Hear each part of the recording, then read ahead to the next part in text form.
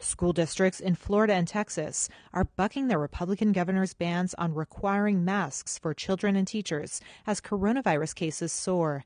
The Broward County School Board in Florida on Tuesday became the latest major district to flout an order by Republican Governor Ron DeSantis outlawing mask requirements in that state, voting Tuesday 8 to 1 in favor of a mask mandate. That's despite a threat from DeSantis the day before to financially punish school districts that require masks.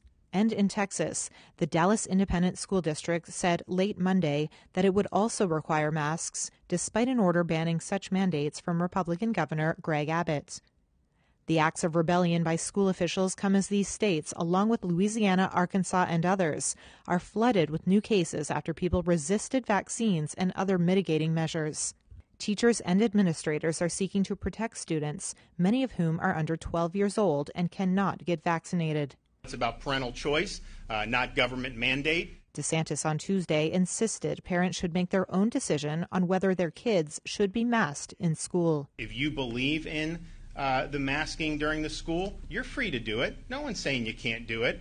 But health officials are sounding the alarm, worried about what they say is a growing threat to children.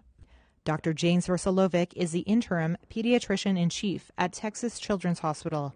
So, since early July, we've seen a steady increase in the number of cases, and we have also seen an increase in hospitalized children and adolescents as well.